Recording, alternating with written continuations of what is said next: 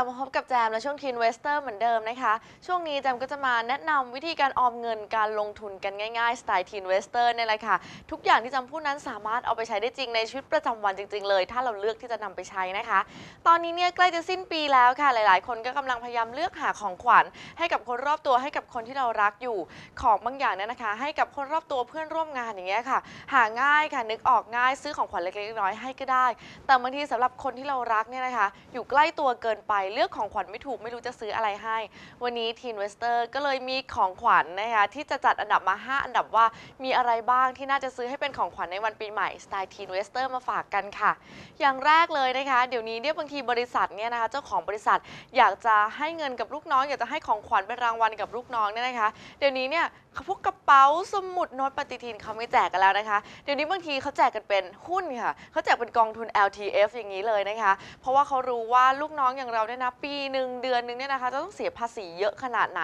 เราก็แจกเป็นหุ้นไปค่ะ แจกเป็น LTF นอกจากว่าลูกน้องได้รับ LTF ไปแล้วนะคะ จะได้รับผลกำไรเงินปันผลแล้ว ก็อยากจะได้รับการลดหย่อนภาษีไปด้วยค่ะ ของขวัญอย่างที่ 2 ที่อยากจะแนะนำกันนะคะนั่นก็คือทองคำนั่นเองค่ะ ทองคำนี้ก็ถือเป็นของขวัญที่มีมูลค่า แล้วก็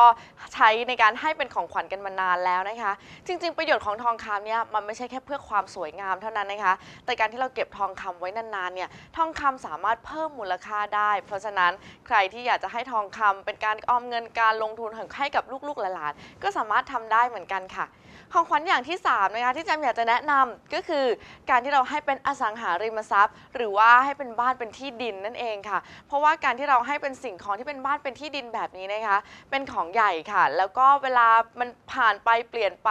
มีสภาพแวดล้อมเปลี่ยนไปเรื่อยๆเนี่ยก็จะเป็นการเพิ่มมูลค่าให้กับที่ดินผืนนั้นอีกด้วยค่ะ แต่ว่าอันนี้เป็นของขวัญที่แพงหน่อยนะคะ ราคาเนี่ยไม่ธรรมดาทีเดียว เพราะฉะนั้นจะให้ใครก็ให้คนที่รักให้คนที่สนิทกันหน่อยละกัน ถ้าห่างๆกันไปเนี่ยโหซื้อที่ดินให้เนี่ยเรื่องใหญ่นะเนี่ยอะต่อไปค่ะ ข้อ4นะคะของขวัญที่อยากจะแนะนำก็คือ การเปิดเป็นบัญชีเงินฝากให้เลยค่ะ บางทีนะคะ ถ้าคุณพ่อคุณแม่เนี่ยอยากจะฝึกให้ลูกๆเราน่ะได้เก็บเงินได้ออมเงินนะคะ ให้เป็นบัญชีเงินฝากค่ะ เป็นการสร้างให้เด็กๆ ให้ลูกๆนั้น ได้ฝึกที่จะออมเงินตั้งแต่เด็ก ๆ ด้วยนะคะ ทีนี้จะเลือกเป็นบัญชีเงินฝากประเภทไหน ก็ต้องเลือกให้เหมาะสมกับผู้รับด้วยค่ะ